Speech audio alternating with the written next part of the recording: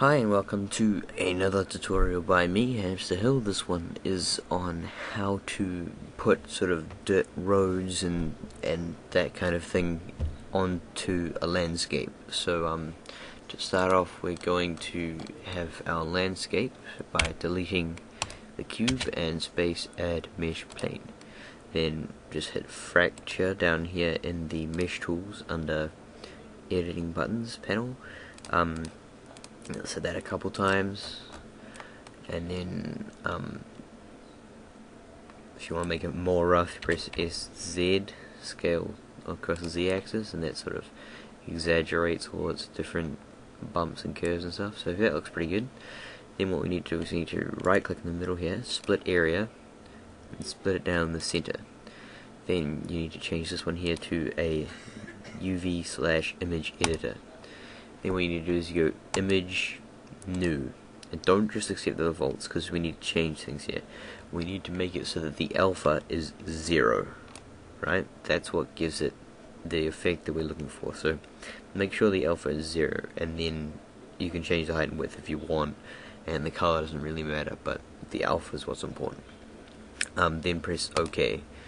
Then what you need to do is scroll out. Um, then go to front view and press e, uh, top view, sorry, and press U, and then click unwrap. And that should just unwrap your plane as it is onto this. So now we can go to texture paint mode, and you can see it's black because it's taking its coordinates and stuff from there. And we go down here and set our opacity up, and um, then just basically draw on our road. Um, I'm going to set my size up and set my fall off down because that looks quite nice. It gives a sort of blurred edge on the side. Um, and just sort of draw your path or whatever your mask on there. Like. And as you can see, it drew it on here as well. Um, so now what we need to do is go to our materials and need to set up our material that we're going to be using. So first you go up, add new because you want a new material, then go to textures, which is this button here.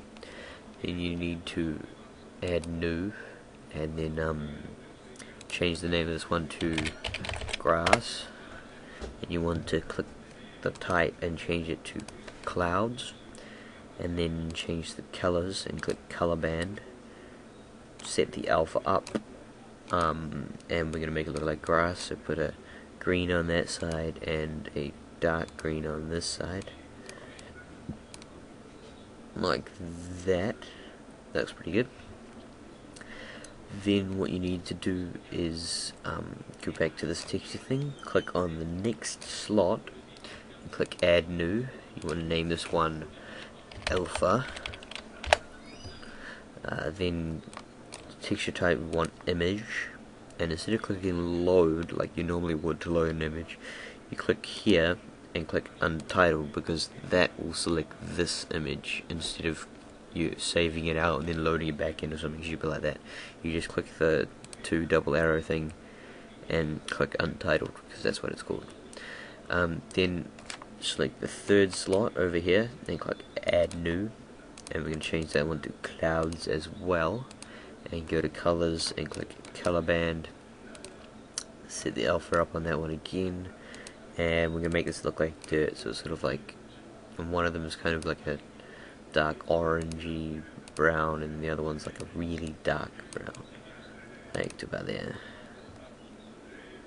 You can mess around with it as much as little as you want. Um, so we got our three textures all set up here. Then what you want to do is you want to go to here, our materials again, and you want to go all the way down to the side and select, make sure the alpha is selected, and click map input, and you want to click UV, and then you want to click map 2, and you want to turn off color, and then select stencil and it should on this view here show you a preview of the dirt sticking through the grass And then if we press F12 to render, we should get a plane with the grass, with the path going through it. So if I just give us a better view here, scale it up a bit, and press F12 again.